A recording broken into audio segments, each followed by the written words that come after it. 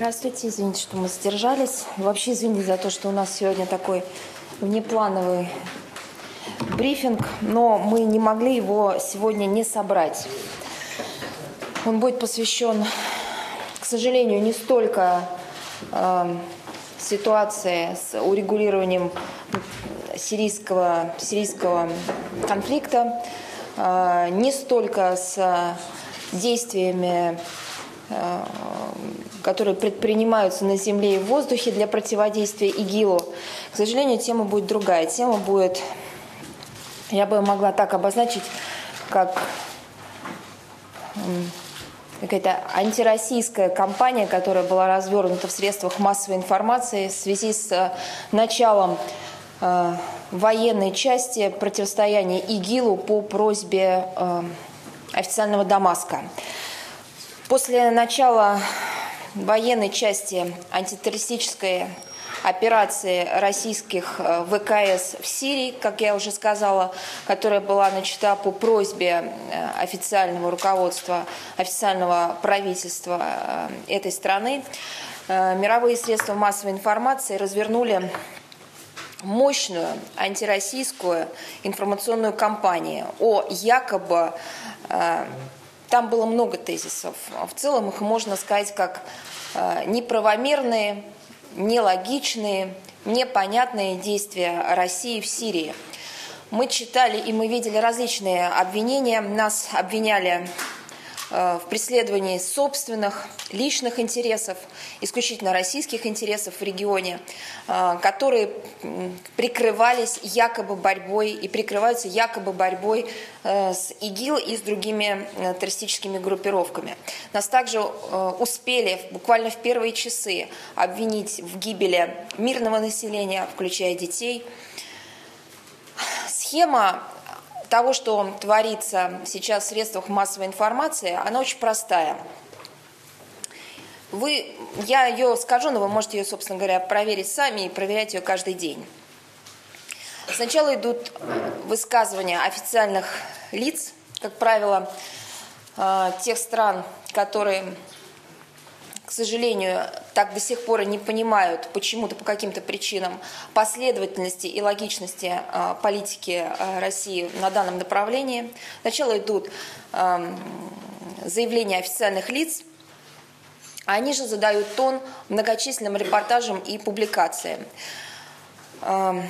Эти высказывания снабжаются комментариями со ссылками на мнения различных неподтвержденных, неофициальных, неназванных источников. Основная цель этих всех высказываний, даже не столько цель, а основное содержание этих высказываний заключается в том, что задача России – это уничтожение умеренной оппозиции, именно так говорится, в регионе. И, как правило, все это э, иллюстрируется фотографиями опять же, которые, как правило, оказываются либо архивными, либо вообще не относящиеся а, к данной ситуации, к данному региону, к данному отрезку времени. Точно так же все это подкрепляется видеоматериалами, которые на поверку также оказываются а, не относящимися к этой ситуации.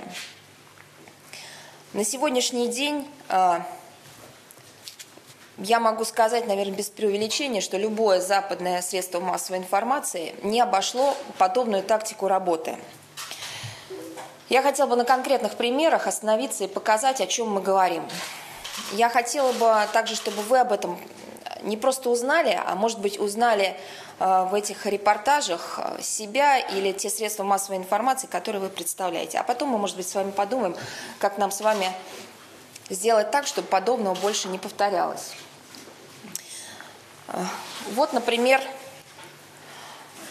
Foreign Policy, солидное достаточно издание, которое мы в том числе часто цитируем, и материалы из которого мы приводим.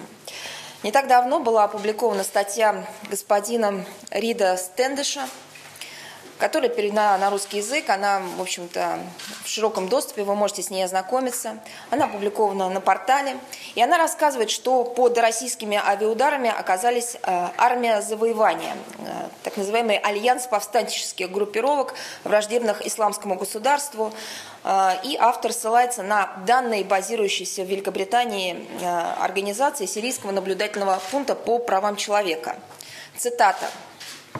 Пятницу Россия объявила, что нанесла удары по лагерям в окрестностях лагерей в Раке. Но есть мнение, что она бомбила районы, находящиеся под контролем различных повстанческих групп. Мнение чье? Если мы говорим о серьезной журналистике, если мы говорим о журналистике, которая не обслуживает чьи-то интересы, а той мировой журналистике, а, которая действительно должна говорить о проблемах, которая должна действительно рассказывать о том, что творится на Земле, как же вы можете оперировать данными, а, с вводными словами, с вводными словами есть мнение. Чье мнение? Где это мнение? Приведите факты, приведите фотографии, приведите конкретные данные с земли. Если вы серьезные журналисты, если вы те самые журналисты, на которых потом ссылаются ООНовские эксперты в своих докладах, которые, на которых ссылаются представители э, официальных структур – что же это за водное слово? Есть мнение, когда речь идет о жертвах и о людях. Есть мнение. Но, как я сказала, у подобных публикаций есть абсолютно четкая и, я не могу сказать, срежиссированная, но, э, безусловно, подготовленная почва – вот так министр иностранных дел Великобритании господин Хаммонд расценивает участие России в сирийском конфликте, цитата, как небольшой образец классического российского асимметричного способа ведения войны. Ведь мы говорим о серьезной политике, мы говорим о серьезных вещах, мы говорим много лет о борьбе с действительно э, всемирным злом. Как же можно использовать такие обороты, когда речь идет об официальных заявлениях официального представителя руководства страны, можно сказать? Также свою оценку происходящему в Сирии дал и британский премьер господин Кэмерон, который высказался в том смысле, что э, российская антитеррористическая операция в Сирии – это ошибка – ведь речь идет не просто о политической оценке, речь идет о реакции международного сообщества на наши конкретные усилия по борьбе с международным терроризмом. Если это ошибка, то в чем она? Предъявите нам конкретные факты. Расскажите, в чем эта ошибка. Но таким образом формируется общественное мнение. Ведь те люди, которые сидят у экранов, сидят на своих кухнях, они верят этим людям, и они верят, что это ошибка. Ну так Подкрепите свои слова какими-то конкретными материалами, подкрепите их фактурой, ведь вы же лидеры государств, вы же несете ответственность за свои слова. Ведь от ваших слов зависят судьбы людей. По его словам, Россия, опять же цитата, э, поддерживает мясника Асада, что является ужасной ошибкой для них и для мира. Это приведет к дестабилизации региона. Большинство российских авиаударов, то, что мы видим на данный момент, были в районах Сирии неконтролируемой группировкой «Исламское государство», но контролируются другими оппонентами режима. И это заявляет руководитель государства, опять э, позволяя себе такие эмоциональные оценки и позволяя себе называть что-то ошибкой без предъявления конкретной фактуры. В схожем ключе реагирует и министр обороны США господин Картер.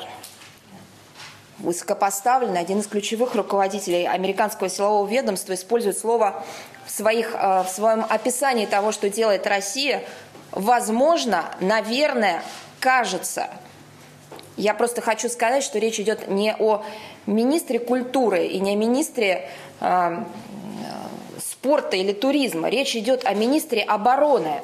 Я еще раз повторю, возможно, наверное, кажется. Я также хочу напомнить, что у нас с Соединенными Штатами а, наконец-то был все-таки восстановлен канал общения по линии Министерства э, обороны и по линии оборонных ведомств двух наших стран. Если возможно, наверное, и кажется, всегда можно взять трубку и проверить для того, чтобы развеять свои сомнения и уже на публику выносить какие-то точные, четкие оценки. И если вас что-то по, до, после этих телефонных разговоров, которые могут быть проведены в любой момент по просьбе американской стороны, по-прежнему будет тревожить, вот тогда об этом говорить. Но сначала спросите у нас, уточните у нас. Я могу отметить, а, нас можно много критиковать за то, что мы э, не открыты, не прозрачны были последние годы. Но тот уровень э, открытости, который демонстрирует Министерство обороны э, последнее, последнее время, особенно что касается сирийского конфликта, он беспрецедентный. Вы посмотрите, регулярные брифинги, ответы на вопросы, любая информация, фото, видео материалы предоставляются. Это только то, что касается публичной сферы работы с журналистами. Но еще раз повторяю, Возможно, не все понимают это, но ведь мы открыты к контактам по военной линии для экспертов наших стран. И если есть какие-то озабоченности, мы готовы на них отвечать. Но зачем же идти на пресс-конференции, на брифинги, говорить о том, что возможно, кажется и наверное, когда вы можете, повторяю, взять, снять трубку и позвонить российским коллегам, и они снимут, и они снимут все эти озабоченности. И, естественно, после таких заявлений мировые СМИ выходят с соответствующими заголовками и утверждают, что истинные цели России э, в Сирии – это отнюдь не ИГИЛ. Я э, была в составе российской делегации сейчас в Нью-Йорке. В моем отеле э, я смотрела новости – на следующий день после э, решения Российской Федерации о оказании содействия э, правительству Сирии в борьбе с ИГИЛ Естественно, все э, телеканалы американские и канадские там показывали, э, вышли с сюжетами на эту тему. Но какова была затравка, запевка этих сюжетов? Внизу все время шла бегущая строка или вообще просто был наложен текст. А каковы истинные цели России э, в регионе? Каковы истинные э, цели России в Сирии? Правда ли, что Россия борется с ИГИЛ? Но это же и есть формирование общественного мнения. Где же здесь объективность? Где же здесь возможность, где же здесь э, поле для той самой координации и содействия, о котором мы говорим?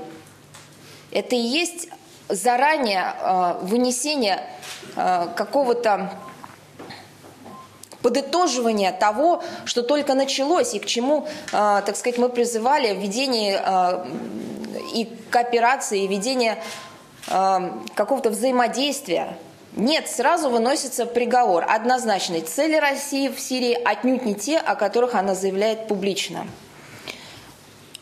Опять же, на днях пресс-секретарь Белого дома господин Эрнст заявил, что США по-прежнему убеждены, что военные самолеты России в Сирии наносят удары в основном по территории, которую занимают подразделения э, сирийской оппозиции, а не исламское государство. Дословно, я видел некоторые сообщения о том, что была по, была по меньшей мере пара ударов в последние дни, которые Россия нанесла по территории, которая находится под контролем ИГИЛ но пока никаких признаков того, что Россия поменяла свою стратегию в сторону того, что, чтобы более эффективно сосредоточиться на борьбе с ИГИЛ. Они концентрируют свои усилия на территорию, которую удерживают оппоненты режима Асада, в числе которых могут быть некоторые экстремисты. Вы знаете, я хочу вам напомнить, а, да, это было не год назад и не два, но я все-таки думаю, что человеческая память способна удержать себе события и десятилетней давности. Я вам хочу напомнить э, теракты 11 сентября, когда мы боль Соединенных Штатов восприняли как свою, просто прекрасно понимая, что такое терроризм. И когда Соединенные Штаты Вашингтон объявил о борьбе, о том, что это вызов национальной безопасности, что это удар по Соединенным Штатам, мы поддержали Соединенные Штаты во всем. И в Совете Безопасности, мы предоставили нашу помощь в борьбе с террористами. И мы не задавали вопросы, а это плохие террористы или они не совсем плохие. Если человек осуществляет террористическую деятельность, если он взрывает дом и убивает вашего ребенка, он террорист – я хотела бы также напомнить, может быть, проблема, конечно, заключается и в этом, что до сих пор международное сообщество не выработало единого термина, который бы говорил о том, что такое терроризм. Да, действительно, такого термина нет. И в каждой стране существует свое национальное законодательство, которое регулирует эту область, эту сферу. Мы все это прекрасно понимаем.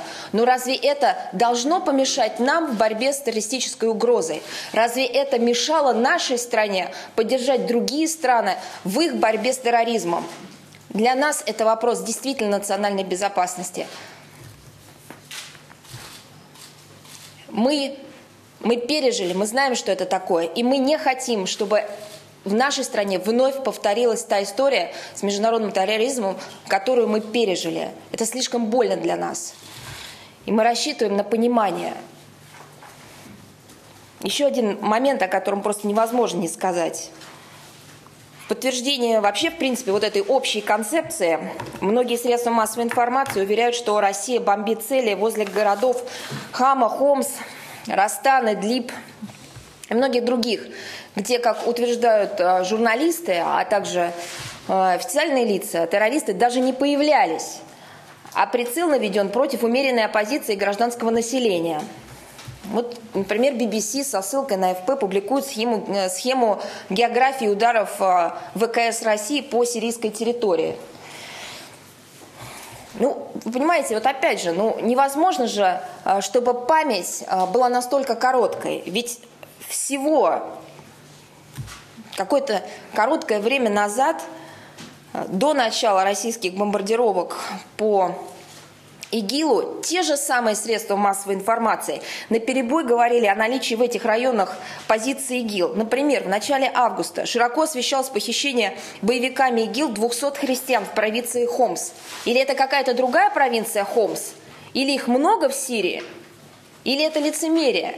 Если с одной стороны говорят о том, что боевики похищают 200 христиан в провинции Хомс, а потом буквально через полтора месяца говорится о том, что в Хомсе нету, э, нету подразделений ИГИЛ. И задается вопрос, кого же там бомбит Россия? Идем дальше. Я хочу больше сказать, что э, помимо прочего, вот эта информация по поводу захвата 200 крестьян была активнейшим образом э, э, поддержана и раскручена э, э, Госдепартаментом. Она не осталась э, незамеченным со стороны наших американских коллег. Они выступили с резким осуждением э, практики взятия заложников. А кто же берет заложники? Разве не террористы берут заложники? Или это какие-то хорошие террористы, которые в августе были хорошими, а теперь стали, наверное, очень хорошими?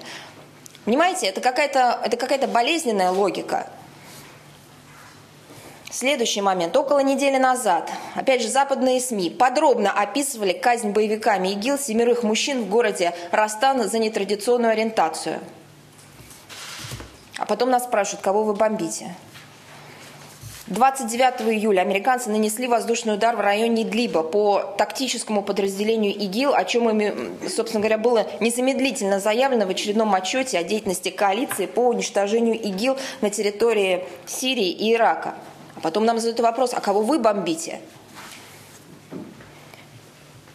Ну и, конечно, отдельная история – это использование фото и видеоматериалов и в средствах массовой информации, и, к сожалению, уже а, официальными структурами.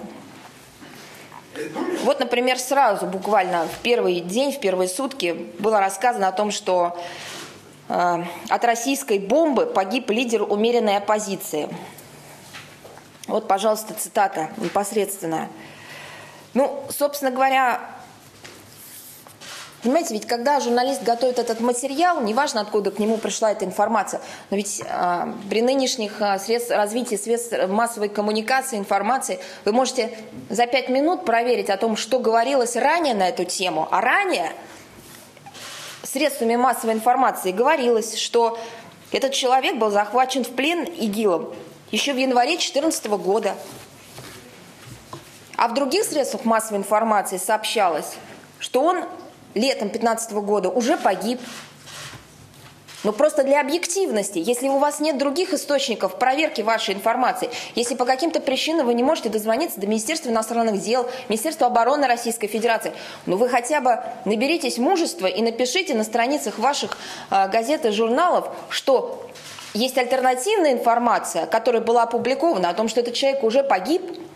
Этого не делается. А я могу вам даже сказать почему. Опять же, на полях Генассамблеи у нас прошло очень много э, встреч и переговоров э, с нашими коллегами. Кто-то выражал поддержку действиям России, кто-то уточнял какие-то вопросы, задавал их. Но несколько встреч было, когда наши коллеги говорили практически под копирку такую фразу. Запомните, я проведу эту цитату по-английски, потом переведу ее на русский язык. Запомните, perception is more important than reality. Восприятие важнее реальности. И вот то, что сейчас происходит, это и есть формирование этой, этого самого восприятия, которое важнее реальности. Реальность – это борьба с ИГИЛ. А вот то, что мы видим, и те примеры, о которых я сказала, это и есть формирование этого восприятия. Но, к сожалению, это восприятие может стать новой реальностью, в которую поверят – она будет отличаться от настоящей реальности, которая на Земле и которая угрожает нам всем. Дальше. Отдельная тема обвинения российских э, ВКС в гибели гражданских лиц и, что совсем низко, детей. Вот эти фотографии, которые вы видели. Эти фотографии, которые были сделаны за несколько дней до начала российской операции. Фотографии, э, очень часто используются фотографии э, разбомбленных городов без указания, что это за город, когда была сделана эта э, фотография, координаты этого места. Просто говорится, Россия нанесла бомбовые удары, люди в страхе разбегаются, мальчик несет хлеб семье, которая скрывается от российских бомбежек. Слушайте, ну это же есть пропаганда чистой воды. Если вы показываете мальчика, который несет хлеб семье, которая скрывается от российских бомбежек, тогда покажите мальчику, чьих родителей обезглавили игиловцы, против которых сейчас там находятся в регионе наши ребята, наши, наши военные. Надо переставать уже быть пропагандистами и ведомыми, раз мы говорим о серьезной журналистике. Потому что вы формируете новую реальность. Вы восприятие превращаете в реальность.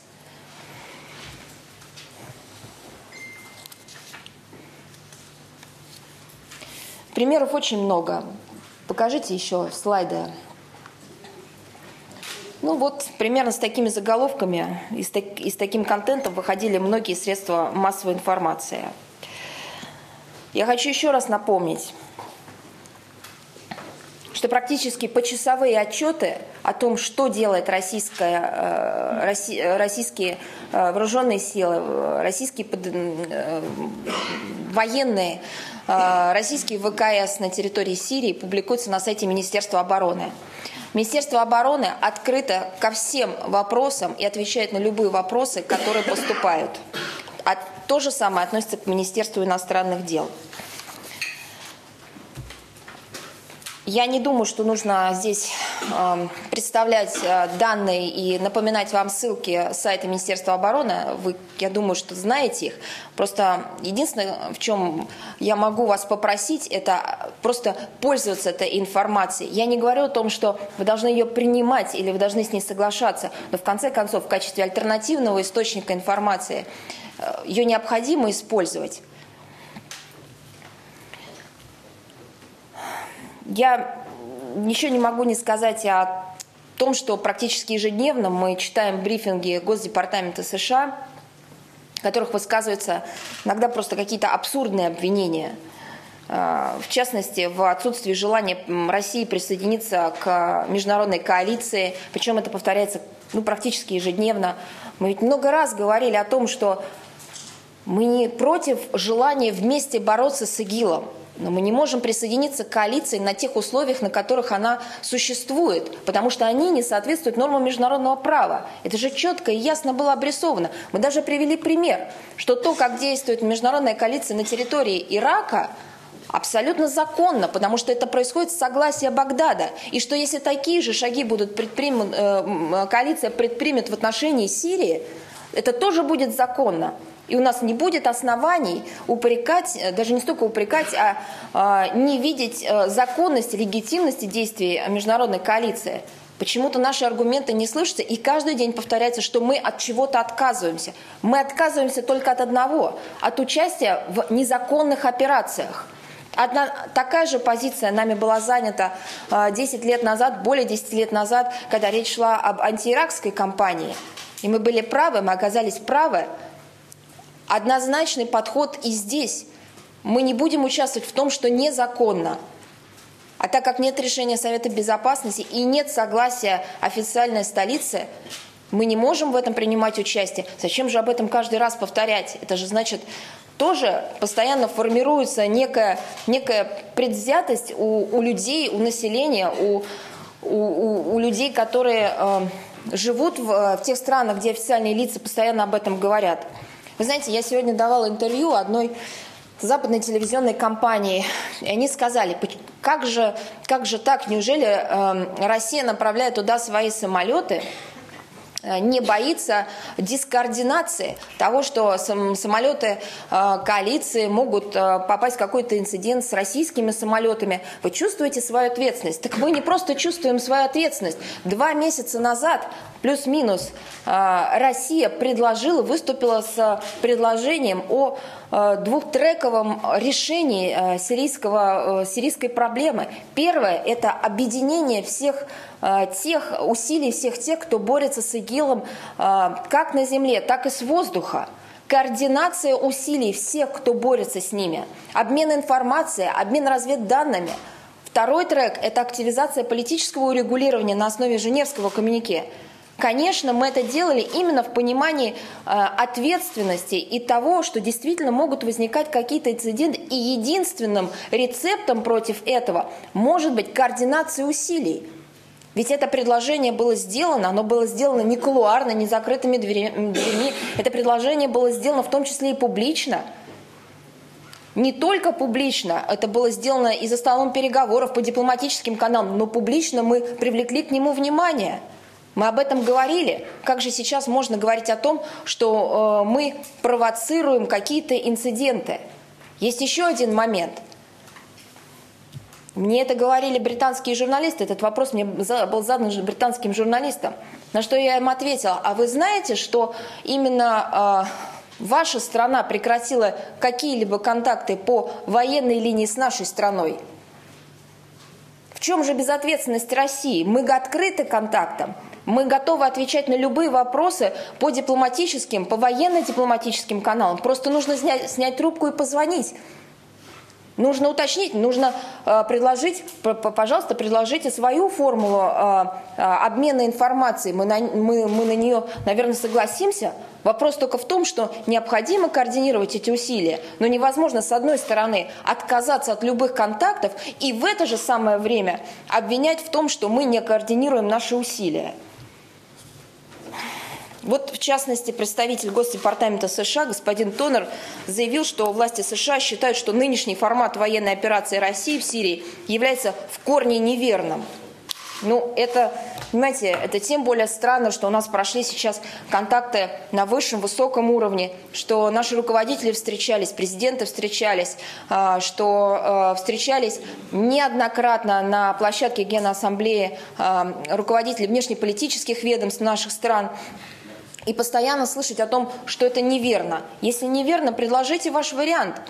Мы свои варианты предлагаем, мы открыты к диалогу, мы постоянно призываем координацию усилий. В частности, господин Торнер заявил, что к настоящему моменту в Вашингтоне не видят, чтобы российская сторона предпринимала действия в поддержку своих заявлений о желании бороться с группировкой «Исламское государство». И, продал, и э, как же, как же это может быть? Как они могут не видеть? Это значит просто не видеть и не слышать то, о чем мы говорим, ни публично, ни по дипломатическим каналам. Но это все служит одному и тому же – формированию общественного мнения – и что Россия якобы пока не демонстрирует желание присоединиться э, к компании, которая проводит коалиция. Это заявляется каждый день. Еще раз говорю, мы сказали о своей позиции, мы сказали о том, что мы можем принять участие в законной операции. Для этого есть определенные условия. Эта а, позиция основана не на нашем собственном видении ситуации, эта позиция основана на том самом международном праве, о котором все так начали заботиться последние несколько лет. Еще один момент. еще то, что, то, что просто вызывает и удивление, и какое-то просто, честно говоря, уже даже непонимание. Упреки, которые в нас, наш адрес дел, э, делаются относительно нежелания делиться э, информацией и так далее. Еще раз повторяю, третий, десятый, сто пятидесятый раз, тысячный раз. Мы проводим контртеррористическую операцию по просьбе официального Дамаска. Контртеррористические операции никогда не проводятся на трибунах э, брифингов и пресс-конференций. Контртеррористическая операция призвана уничтожить террористов. Если есть какие-то вопросы по проведению подобных действий, подобных операций, Российская Федерация открыта подобным контактам нашим, с нашими зарубежными коллегами. Для этого есть каналы Министерства обороны.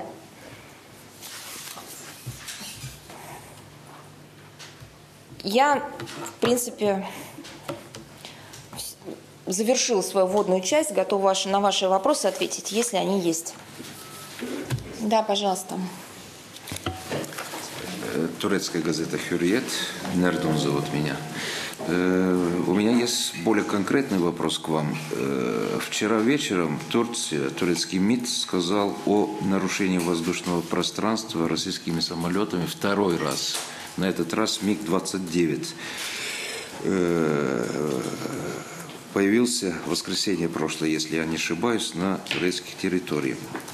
По этому поводу есть у вас какое-нибудь заявление? А, заявление было опубликовано а, по линии Министерства обороны. Я знаю, что наши коллеги готовы будут ответить на конкретные вопросы, если они есть, если того заявления, которое они сделали, по вашему мнению, недостаточное. Поэтому Министерство обороны дало исчерпывающий комментарий на этот счет. Мы по линии Министерства иностранных дел действительно подтвердили, что э, был э, вызван посол наш э, в МИД Турции. Это наша компетенция, мы об этом сказали. Исчерпывающий комментарий был дан по линии Министерства обороны. И э, насколько я видела э, заявление э, Сейчас я процитирую даже. Эм, по заверению турецкой стороны, кризиса в наших отношениях нет, и, насколько я вижу по информации агентств, они считают э, э, произошедшее исчерпанным. Ну, еще раз говорю, я оперирую только информацией агентств на данную минуту. Позвольте, я хотел сказать о втором самолете. Вы, то, что вы сейчас сказали, это связано с Су-30, который угу. был э, субботу, прошлой субботу. Да. А я говорю о 29-м МИГе, который только вот сегодня Турция еще раз вызвала посла России в Анкаре, сегодня утром.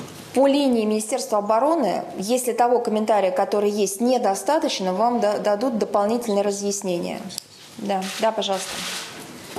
Газета «Известия» Татьяна Майкова. Как вы можете прокомментировать недавно появившуюся информацию на телеканале CNN со ссылкой на источники в Пентагоне о том, что Россия может начать наземную операцию в Сирии? Да, это еще один, а, это еще один а, тезис, который последние несколько дней активнейшим образом а, муссируется, циркулируется. Причем это делается, это делается,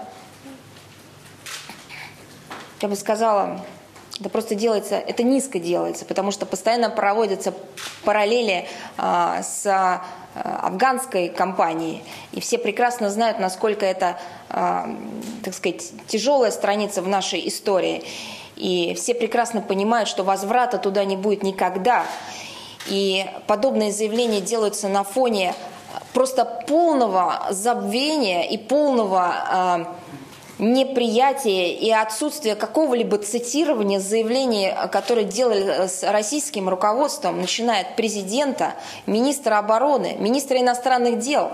А, сегодня я посмотрела, были сделаны а, заявления а, Валентины Ивановны Матвиенко о том, что ни о какой наземной операции в Сирии речи не идет и не может идти. Вот эти все цитаты, они игнорируются просто. И каждый раз э, неназванные источники в Пентагоне начинают комментировать намерения Российской Федерации. Ну, во-первых, по-честному будет. Если есть какое-то мнение в Пентагоне, выходите говорить об этом публично. Второй момент. Снимите трубку, позвоните в Минобороны, вам там все расскажут еще раз.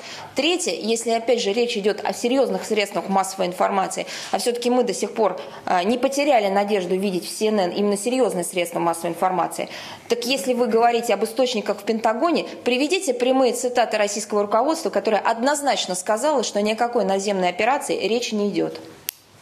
Да, пожалуйста. Немерод, эстонское телевидение. Вот я вчера нашел здесь в Москве газету Moscow Times, где главный заголовок Russian propaganda can't sell Syria. Здесь в Москве пишут об этом. Как вы прокомментировали? А что мне комментировать? Какой ваш конкретный вопрос? Вопрос. Вы, может быть, поэтому говорите, что э, вот Запад критикует, что Россия просто не может свою позицию как-то... Мне очень радостно, что вы нашли, э, что вы все-таки в Москве нашли альтернативную точку зрения. Расскажите, пожалуйста, вы из Эстонии, да? Да, На все вопросы, когда будут говорить, что альтернативного, э, альтернативной точки зрения в Москве нет, вот эту газету привезите и покажите. Скажите, что в России, в российской прессе представлены все точки зрения. Спасибо. Да, пожалуйста. А микрофон, пожалуйста. Спасибо большое. Мария Кушникова, Интерфакс. Мария Владимировна, вчера представитель Украины в э, политической подгруппе заявил о том, что на завтра намечено, намечен телефонный разговор о глав МИД нормандской четверки. Действительно ли это так? И будет ли в нем принимать участие Сергей Лавров, если, соответственно, информация верна? А, У меня а, нет информации, я не могу подтвердить, что а, такой телефонный разговор состоится. Если он будет запланирован, то мы о нем а, вас проинформируем. На сегодняшний момент я его подтвердить не могу. Да, пожалуйста.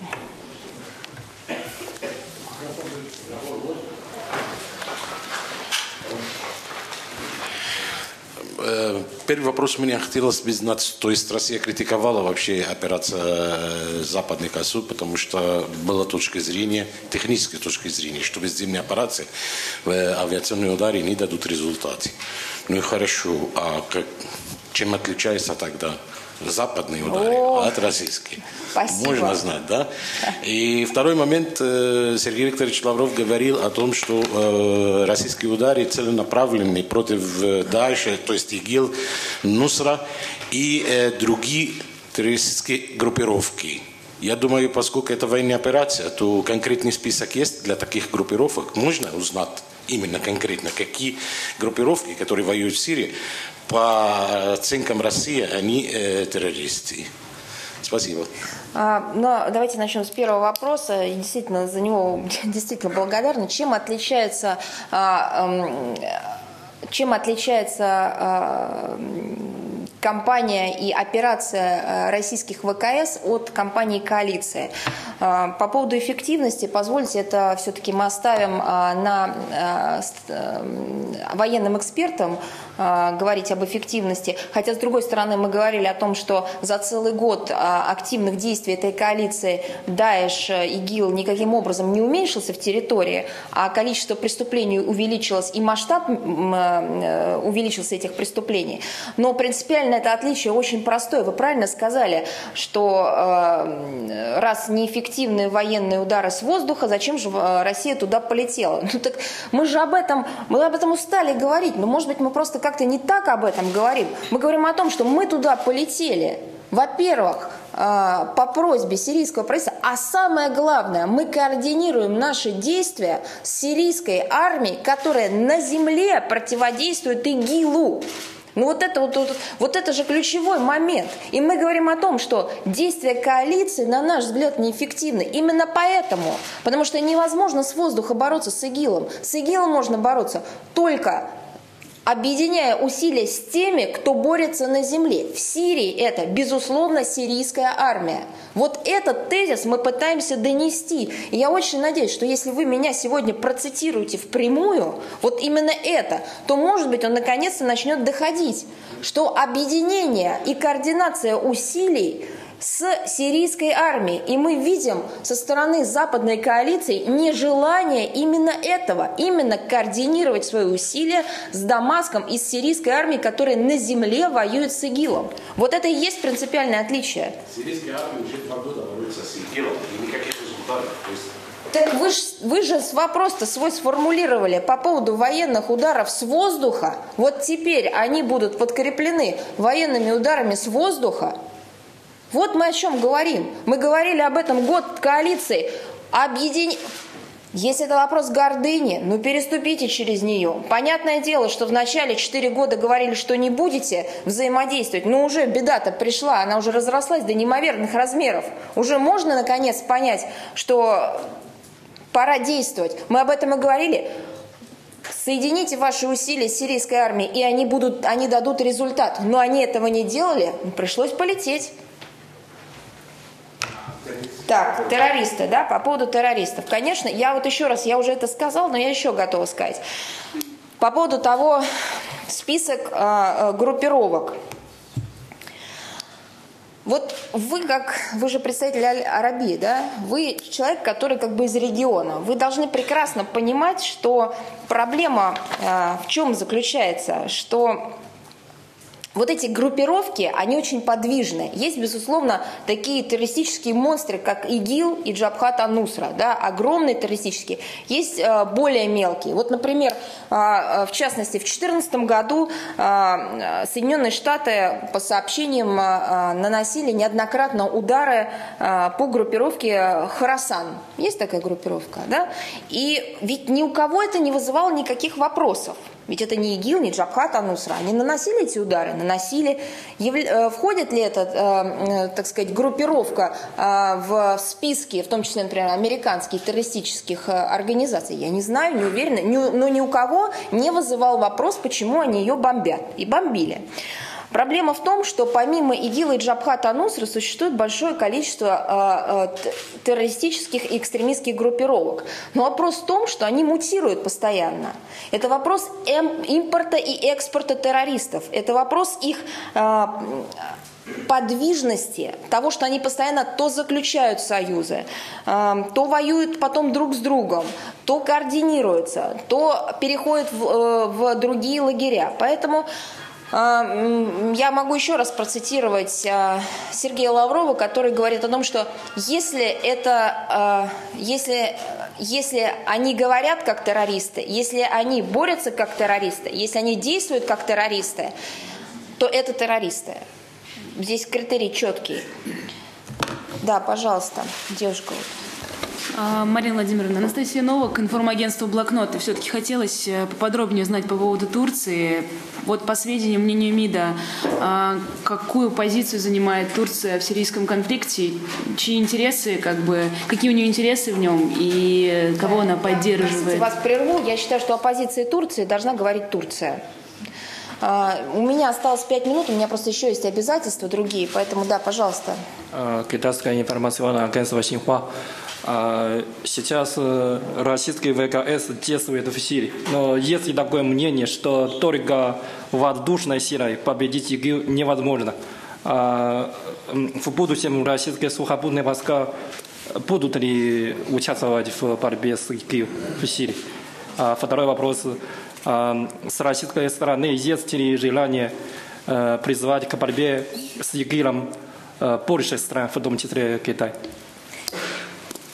По поводу того, сколько стран должны участвовать в, э, борьбе с ИГИЛом, мне кажется, это вопрос конкретно каждой страны, насколько она готова, насколько она способна, насколько она чувствует в себе э, потенциальные возможности принимать в этой э, борьбе участие.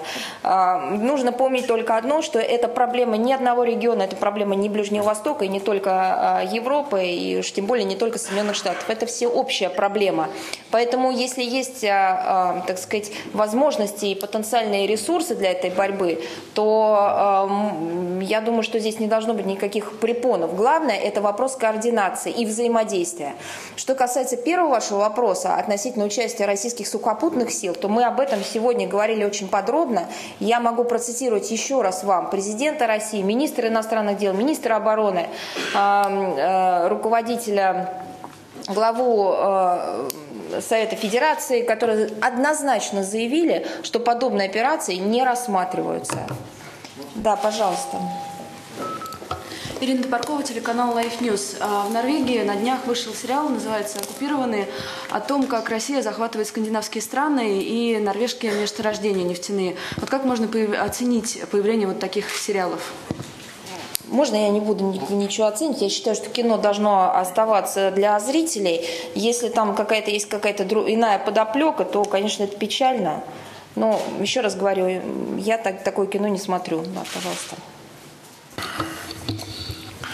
А, Адам Агенса Сана. Э, скажите, пожалуйста, как вы оцениваете э, роль этой э, международной коалиции в Ираке? Вроде она содействует там в согласии с правительством и с армией Ирака. Это первый вопрос. Есть второй, если позволите, еще второй. А второй вопрос. Два года тому назад в Сирии не было никакого ИГИЛа. Ну, два его раньше. А оказывается, эта так называемая умеренная оппозиция э, похитила двух э, митрополита, э, съела сердце э, солдата и, э, захватила э, много городов и э, чинила очень много вред народу Сирии. А об этом идет речь, что она умеренная оппозиция или нет? Э, по поводу, э, по поводу той самой умеренной э, оппозиции, о которой вы говорите, и какие-то подразделения, которые якобы тоже воюют с ИГИЛом на месте, о чем нам говорят наши американские партнеры, я хотела бы еще раз привлечь ваше внимание к заявлению, не заявлению, комментарию министра иностранных дел Сергея Лаврова, который он вчера сделал на пресс-конференции по итогам встречи с лаосским коллегой, о том, что мы как раз и задали вопрос нашим американским коллегам, кого, собственно говоря, они имеют в виду, когда рекомендуют нам координировать наши действия а, с некой там свободной армией или еще что-то, а, где эти люди, кто они, какие их, так сказать, позывные. И, собственно говоря, пока мы ответа от Вашингтона не получили на этот счет. А, вы также спрашивали по поводу Ирака, и я считаю, что могу только еще раз вам привести наши прежние высказывания относительно того, что большая координация приведет к большей эффективности действий по борьбе с ИГИЛом. Отказываться от взаимодействия с теми, кто готов и может внести свой вклад э, в борьбе с ИГИЛом по каким-то политическим соображениям, по соображениям политической конъюнктуры, просто сейчас и бессмысленно, и опасно. Какие их успехи там? Вот это к военным экспертам насчет военных успехов. Не, не, вы уже были, да, пожалуйста. Спасибо. А скажите, пожалуйста, глава комитета по обороне Кумаетов говорил о том, что компетентные органы препятствуют проникновению э, на Ближний Восток э, желающих принять участие в боевых действиях с той и с другой стороны. О каких добровольцах идет речь? Какое-то количество? Есть какая-то информация на этот счет? Да нет там никакой информации. Я, такую, я, я так поняла, что он, по-моему, уже сегодня сделал какие-то новые заявления на этот счет. Еще раз говорю, ни, ни, ни, никаких а, официально могу сказать, еще раз повторить, ни о каких а, а, официальных компаниях по участию в сухопутных операциях речь не идет. Э, никаких э, добровольцев э, никто официально не призывать, не записывать, не агитировать не собирается. Это какая-то просто, мне кажется, что либо просто не, не, кто-то не так выразился, не кто-то не так понял. И, конечно, у нас, понимаете, у нас большое количество политических деятелей, политиков, депутатов, у которых есть свое мнение, которые имеют право и должны, безусловно, его выражать. Мы все-таки комментируем нашу официальную позицию, и она однозначна. Никаких сухопутных э, операций, никаких войск на земле э, нет и быть не может. Об этом однозначно российское руководство заявило. Да, пожалуйста, Блумберг. И давайте, пожалуйста, вот еще пять минут и, и все. А по добровольцам просто хотелось уточнить, это все-таки нарушение российского законодательства, если человек едет в Сирию а, добровольцем воевать на стороне Асада, или не является нарушением а, законодательства? И второй момент, вот вы очень а, так ярко сказали, что Россия никогда не повторит афганский опыт, можете просто пояснить, что вас а, в этом убеждает, что вот Россия действительно никогда уже не повторит такого опыта, какой у него был в Афганистане? Четкие Спасибо. однозначные заявления, которые я сегодня уже неоднократно цитировала. По поводу э, российского законодательства я готова вам просто предоставить ссылки, чтобы здесь не заниматься какой-то неправильным цитированием относительно того, возможно или невозможно участие добровольцев. Просто предоставлю вам ссылки на соответствующие российские законы. Сегодня в конце дня это сделаем. Так, все, давайте еще. Агентство «Франс Пресс».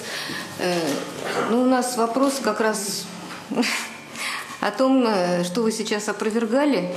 Но Россию критикуют именно за то, что она работает с властями, которые убили тысячи своих сограждан и тем самым стали нелегитимными. Вот что вы на это ответите? Вот э, я просто хочу сказать по поводу того, что власти стали нелегитимными. Вот вы не могли бы мне привести какой-то, может быть, международный документ, э, который говорит о нелегитимности этих властей? Вот его процитировать или хотя бы назвать. Какое-либо решение международного органа, которое Э, постановила, что это нелегитимные власти.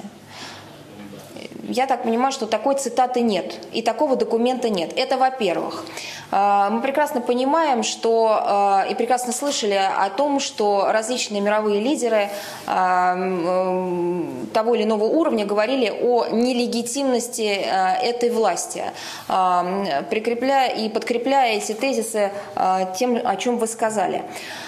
Вопрос не о том, что мы говорим о том, что это э, лучшее правительство в мире, что это замечательные люди и прекрасные люди и так далее. Мы прекрасно видим, э, что э, режим э, сделал не так и что было сделано не так. И э, регулярно говорили о наших оценках. Причем эти оценки не последних лет, это оценки, которые мы давали 4 года назад и даже более. Э, более того, мы очень здраво и объективно оцениваем э, то, что там происходит. Вопрос, вопрос в том, к чему приведет э, насильственное свержение режима, о чем э, так яростно говорят э, многие западные лидеры кстати говоря, которые подписали и э, пропустили и поставили свои подписи под Женевским коммюнике. В Женевском, в Женевском коммюнике э, э, от 30 июня 2012 года однозначно говорится о том, что э, любые политические изменения в Сирии должны происходить путем э, национального согласия, и только сирийский народ должен решать э, свою судьбу. Поэтому все заявления о том, что нужно лететь бомбить, э, так сказать, режим, его свергать, его менять, это все просто противоречит Женевскому коммюнике, который в том числе прошло а, апробацию членов Совета Безопасности и так далее, и так далее. Ведь вопрос-то в чем заключается? Что будет, если вот этот сценарий а, а, будет реализован? Мы видели эти сценарии в Ливии. Мы видели то, как сначала была демонизирована фигура Каддафи, потом, когда его уничтожили, и как его уничтожали. И потом мы видели, что случилось после этих событий. Вот если бы эту пленку отмотать назад, и если бы сейчас, в том числе и вас всех, в том числе и средства массовой информации, спросить, каким сценарием вы хотели бы воспользоваться, каким путем вы бы пошли, устранением лидера, который отнюдь не являлся ангелом, или сохранение страны и народа и недопущение превращения это в, черную террористическую дыру, я больше чем уверена, что каждый из вас проголосовал бы за второй сценарий. Мы об этом говорим. Мы говорим о том, что давайте сейчас разберемся с ИГИЛом. Параллельно с этим запустим политический процесс. Ведь как будто второй части, а, а, второго трека, к которому мы призываем, как будто его нет. Как будто не Россия была в том числе инициатором Женевского коммюнике, где четко говорится о политическом транзите. Как будто Россия не работает с Дамаском, не стимулирует э, э, политические изменения, реформы и политический транзит. Как будто не Россия дважды давала площадку Москвы для проведения э, диалога между оппозицией и официальным Дамаском. Как будто этого всего нет. И это тоже большой вопрос к объективности. Это все есть, потому что мы прекрасно понимаем, что это комплексный вопрос. Но если нас подвигают к ливийскому сценарию, извините, мы в этом не участвуем, потому что Сирия сдетонирует куда круче, чем Ливия. Спасибо большое. Должна бежать.